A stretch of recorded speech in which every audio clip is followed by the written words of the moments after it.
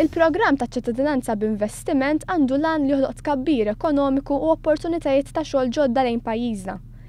Il-liġi taċ-Ċittadinanza b'Investiment għaddiet mill-Parlament fit-tnax ta' Novembru li għadda.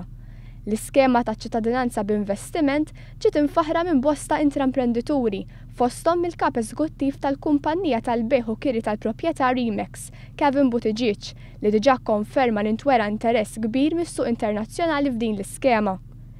Minkejja dan l-Oppożizzjoni għamlet kampanja negattiva kontra dan il-programm ta' investiment individwali, filwaqt li l-Gvern wera rieda tajba l-ħin kollu meta għażel li flok jissuppervja jidħol f'konsultazzjoni mal-Oppożizzjoni biex jissalvagwardja l-interess nazzjonali.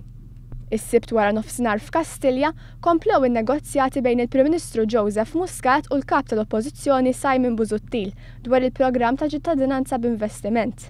It-taħdidiet bejn il-Gvern u l-Oppożizzjoni mistennija jkomplu nhar it-Tnejn fejn huwa mifhum li se tittieħed deċiżjoni finali.